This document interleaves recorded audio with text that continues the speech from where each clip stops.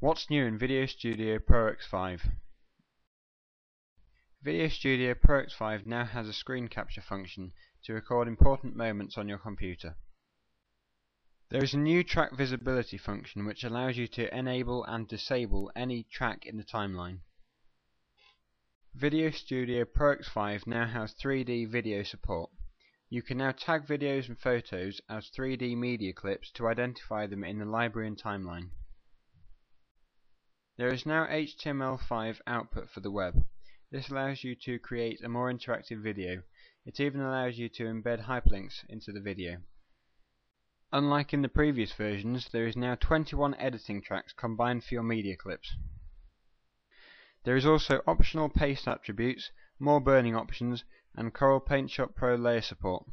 I hope this video has given you a better idea of what VideoStudio Pro X5 has to offer. Thanks for watching.